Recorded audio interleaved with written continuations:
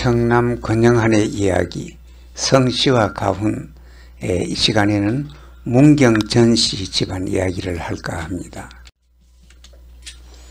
예, 문경 전 씨의 시조는 경상북도 북부 지방에 있는 그 옛날에 탄광으로 유명했던 문경입니다. 그리고 시조는 전유겸이라고 하는 아주 인격이 높은 어른이 문경 전 씨의 시조입니다.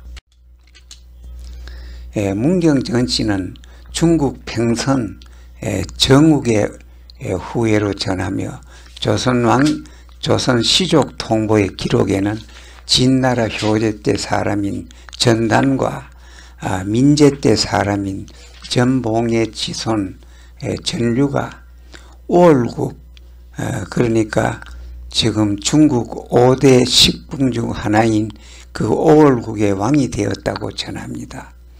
그 후 원나라 순제 때 에, 용도 직제학사 아, 유, 뭐, 전유겸이 노국 공주를 배양하고 고려에 들어와서 문장과 덕행으로 명성을 날리으므로 왕이 평장사를 제소하였고 최은 장군의 누이와 혼인을 맺고 에, 개성의 천장교 옆에 정착하여 에, 뿌리를 내리게 되었다고 합니다.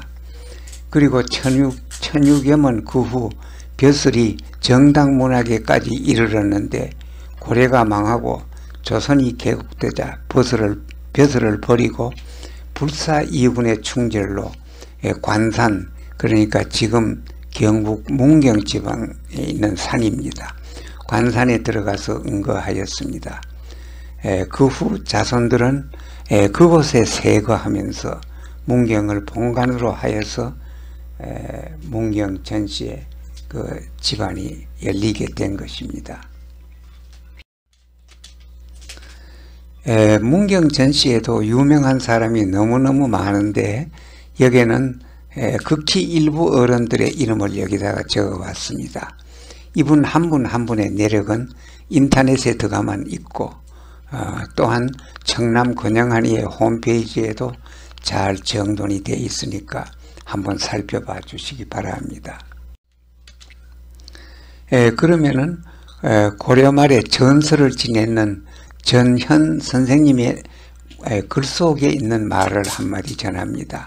일일 일선이라 하루 한 가지씩은 꼭 착한 일을 하자 합니다.